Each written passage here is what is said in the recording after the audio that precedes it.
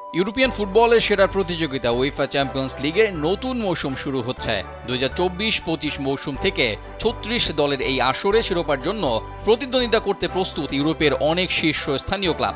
তবে এত সব ক্লাবের মধ্যে ফেভারিট কারা, সেসব নিয়েই থাকছে এই প্রতিবেদন। ইংলিশ সংবাদ মাধ্যম বিবিসির অনেক বিশেষজ্ঞের মতামত নিয়ে এই মৌসুমে চ্যাম্পিয়ন্স লিগের শিরোপার দৌড়ে এগিয়ে থাকা দলগুলো তালিকা তৈরি হয়েছে। যে তালিকায় এগিয়ে আছে বর্তমান চ্যাম্পিয়ন রিয়াল মাদ্রিদ ও English Premier League champion Manchester City.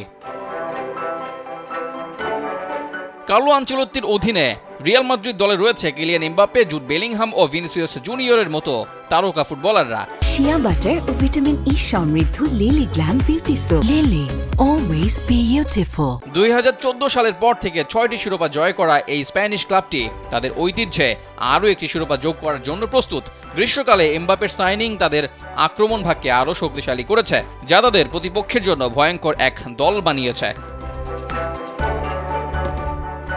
অন্যদিকে ম্যানচেস্টার সিটি দুই হাজার তেইশ সালে শিরোপা জেতার পর এবার নিজেদের শিরোপা আবার উদ্ধার করতে প্রস্তুত পেপ গার্দিওয়ালার অধীনে ইংল্যান্ডের ফুটবলে তাদের আধিপত্য অব্যাহত রয়েছে।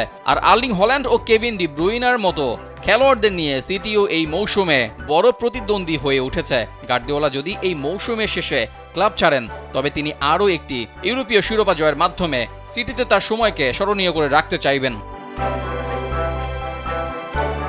আর্সেনাল, বায়ার্ন মিউনিক লিভারপুল ও বার্সেলোনার মতো ক্লাবগুলো শিরোপার দিকে নজর রাখছে।